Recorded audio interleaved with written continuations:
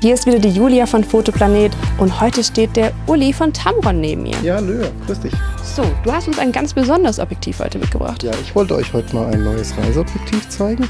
Und zwar haben wir vor kurzem ein 18 bis 400 mm auf den Markt gebracht.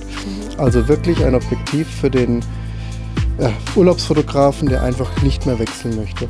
Vom 18 mm Weitwinkel bis zum 400 mm Tele, alles in einem Objektiv.